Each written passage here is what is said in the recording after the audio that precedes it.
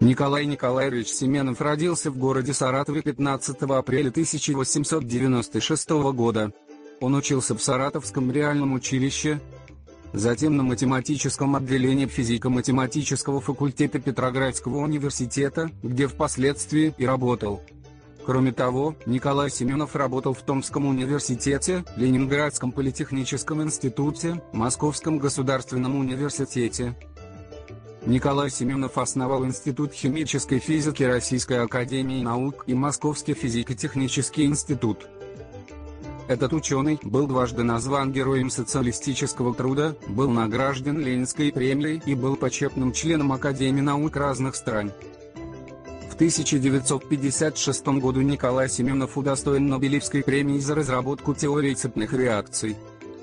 Он прожил 90 лет, в его честь поставлены четыре мемориальные доски в разных городах, в Саратове находится памятник Семенову, и кроме того, выпускались почтовые марки с его портретом.